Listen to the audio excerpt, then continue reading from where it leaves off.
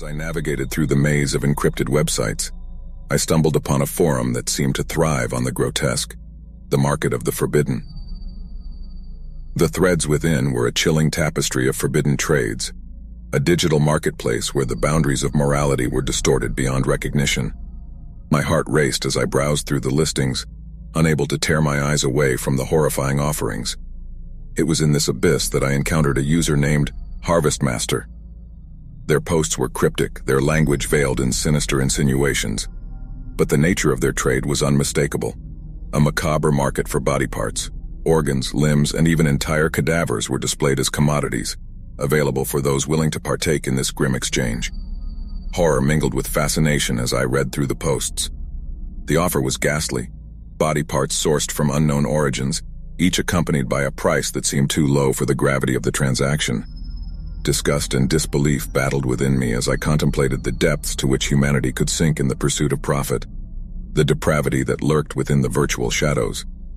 But as I scrolled through the posts, one listing caught my eye. A perfectly healthy kidney, offered at a fraction of what it should have cost. The sight sent a shiver down my spine, and a sense of revulsion coursed through my veins. Despite the horrors I had encountered on the dark web, the idea of trading in human suffering was a line I couldn't cross. Compelled by a mixture of disgust and righteous anger, I replied to the post, condemning the trade and expressing my shock at the depths of depravity on display. To my surprise, I received a private message from Harvestmaster, a message that dripped with chilling amusement. You judge while standing on the precipice. How noble. Yet, what if I told you that the choice was never yours to make? The word sent a shiver down my spine, a sense of foreboding that wrapped around me like a vice. I typed a response, my fingers trembling as I demanded an explanation for the cryptic message. The reply was swift and haunting, a single sentence that sent my world spinning. You've piqued my interest. I have a proposition for you. The message contained a link that led to a secure chat room, a place where Harvestmaster's voice emerged from the veil of the digital realm. The offer was chilling. Purchase a body part, any body part, and in return, I would be granted access to secrets that promised power, wealth, and influence beyond imagination. Disgust, anger, and morbid curiosity warred within me. The price of knowledge seemed staggeringly high, but the temptation was undeniable. In a moment of weakness, I typed a response, a hesitant acceptance of the offer, a decision that left a bitter taste in my mouth. The days that followed were a haze of anticipation and dread. I made the transaction, a morally reprehensible act that sent waves of guilt crashing over me. In return, I received a digital dossier, information that detailed financial schemes, corporate espionage, and hidden scandals. The knowledge was intoxicating, its allure clouding my judgment. But as I delved deeper into the dark web's whispers, the weight of my actions became undeniable. The information I possessed was a double-edged sword, a tool that could bring both power and destruction. The secrets I had obtained were a reminder that the pursuit of knowledge could lead to a moral abyss, a choice that left scars on my conscience.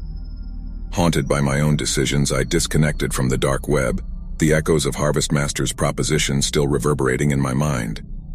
The experience had been a chilling reminder that the digital abyss held not only the grotesque and forbidden, but also a reflection of the darkest corners of human nature. It was a realm where lines between right and wrong blurred, where the pursuit of knowledge could lead down a treacherous path of moral compromise, a path from which escape might prove to be impossible. As I delved into the encrypted depths, little did I know that my curiosity would lead to a chilling encounter that would forever alter my sense of security. Late one night, a message notification blinked on my screen, a private message from a user with the cryptic username Silent Watcher. My heart quickened as I read the message that seemed to possess an eerie prescience. Curiosity has a price. I've been watching you, Dread coiled around my thoughts like a serpent, and my gaze instinctively shifted to the tiny camera perched on top of my laptop screen. The idea that someone might be watching me through that very camera was a terrifying thought that sent shivers down my spine. I reached for a piece of opaque tape and covered the lens, a futile attempt to shield myself from the unseen gaze. With trembling fingers, I responded to the message, demanding an explanation for the cryptic claim. Seconds turned into minutes as I waited for a reply, the silence of the room amplifying the pounding of my heart. Finally, a response appeared. The darkness of the web holds secrets you can't fathom. But you've attracted their attention. Don't trust what you can't see. The words chilled me to the bone and a sense of vulnerability settled over me. The idea that I had somehow drawn attention from the darker corners of the web was a daunting realization, one that made me feel like a pawn in a sinister game. The laptop, once a portal to endless information and entertainment, now felt like a portal to something far more ominous. As the night wore on, a growing unease kept me from sleep. Every shadow seemed to contain hidden eyes, and every creak of the floorboard sent a jolt of paranoia through my veins. I couldn't shake the feeling that I was being watched, observed by a presence I couldn't comprehend. In an attempt to regain a semblance of control, I reached out to a friend who was tech-savvy. With their guidance, I meticulously scanned my laptop for malware and potential breaches. The process was a digital dissection of my device, a disconcerting reminder of the vulnerability of our interconnected world. Days turned into weeks, and my unease remained a constant companion. The sense of being watched grew stronger, an invisible weight that followed me wherever I went. Even in public spaces, I couldn't escape the feeling that someone's gaze was fixed upon me, an unrelenting scrutiny that left me perpetually on edge. Then one night, as I was engrossed in a movie, my laptop screen suddenly went black. Panic surged within me as I frantically tapped the keys, willing the screen to come back to life. After what felt like an eternity, the screen flickered to life again. But something was different. A message had been typed on the screen. Do you see what I see? Terror gripped me, and I disconnected the laptop from the internet in a desperate attempt to sever the unseen connection. But the damage had been done. The violation of my digital fortress was undeniable. The very device that was supposed to connect me to the world had become a conduit for a malevolent presence, a window into my private life. As I stared at the now ominous laptop, a chilling realization dawned on me. My actions on the dark web had attracted the attention of something beyond comprehension.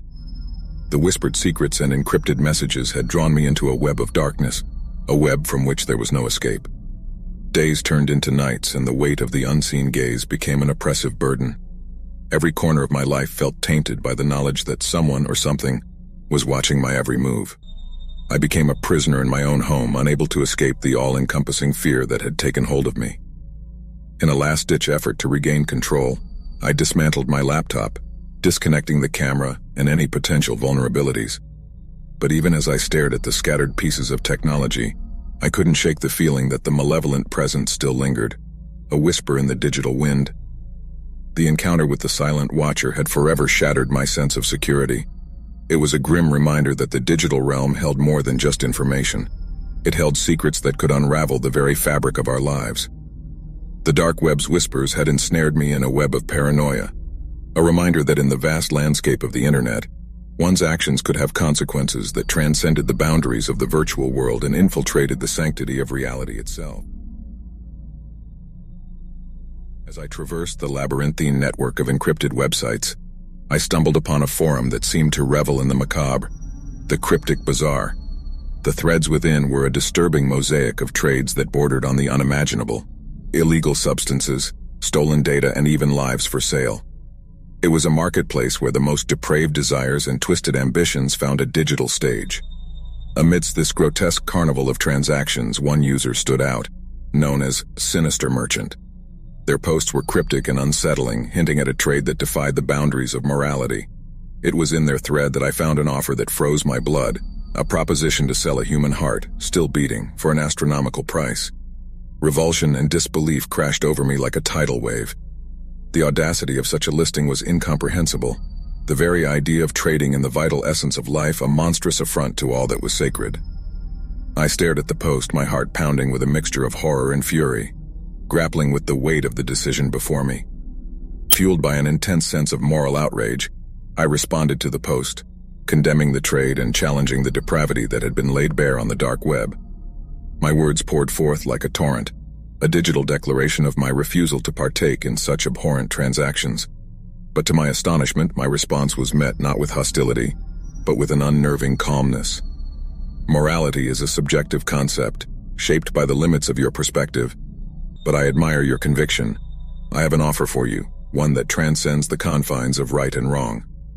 The response sent a shiver down my spine, a premonition of the chilling encounter that awaited me. I hesitated before typing my reply, demanding an explanation for this cryptic proposition. The reply was swift, as if Sinister Merchant had anticipated my every move, an invitation to a private chat room where the true nature of the offer would be unveiled. With trepidation, I entered the chat room, my heart racing as I awaited Sinister Merchant's voice to emerge from the digital void. The offer was both terrifying and seductive, a chance to gain access to a hidden network of power brokers, a circle that controlled the destinies of nations and economies. In exchange for a demonstration of loyalty, I would be granted a seat at their digital table, a position that promised influence beyond imagination. The temptation was undeniable, the allure of power and control intoxicating. The secrets I would obtain were a reflection of the darkest corners of human ambition, a digital treasure trove of hidden knowledge that could reshape the world. But the price was steep, my commitment to participate in transactions that were far more insidious than anything I had encountered before. As I grappled with the decision, a sense of moral vertigo overcame me. The trade of a human heart for power seemed incomprehensible, yet the potential of the knowledge I could gain was equally undeniable. In the end, the lure of secrets whispered in the shadows proved to be my undoing, and I accepted the offer, sealing my fate with a digital covenant. Days turned into weeks as I delved into the dark web's underbelly, conducting transactions that made my stomach turn.